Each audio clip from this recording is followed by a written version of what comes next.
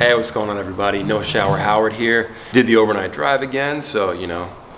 So uh, doing the song of the day has been a lot of fun, um, but it's also been pretty stressful uh, on the road. It was a lot easier to do when I was at home. I knew it was going to be challenging. Um, I set out to make it a challenge for myself to like sing every day, maybe learn some covers, things like that. So, as much as I hate to admit defeat. Um, I'm gonna pull back. I'm, I'm still gonna do it. I'm just not gonna do it every day. I just have so much going on. I have other projects that, that I need to be committed to fully. I want to focus on making the Ballyhoo songs the best they can be. Um, this new batch of stuff we just did. I want to write more songs.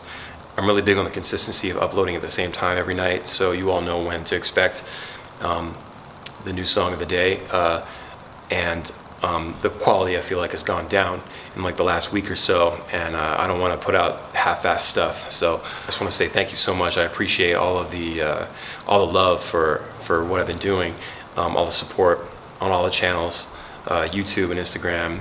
I'm not done. I'm going to keep doing it, but it's just going to be not as often. I'm going to try to ramp up more podcast episodes while I'm out on tour.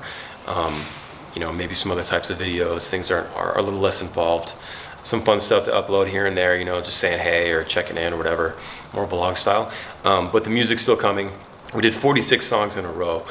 I feel really good about that. You know, I was able to pull that off. It's just, I want to make sure that I'm giving 100% to everything that I'm doing. So look for the song of the day. Maybe it'll be the song of the week from now on. I don't know. Maybe this will end up helping with the longevity because, you know, I'm almost halfway through the Ballyhoo catalog at this point. You know, maybe I can make it to the end of the year doing it this way. Um, but I appreciate all the love from the bottom of my heart. Um, it, it, means a lot to me that you're that you're there and watching and listening and everything. So um, more to come, and uh, hope to see everybody out on the Winter Blackout tour. We're killing it out here, having a great time. The shows have been amazing. Come say what's up and uh, get your tickets. And yeah, all right.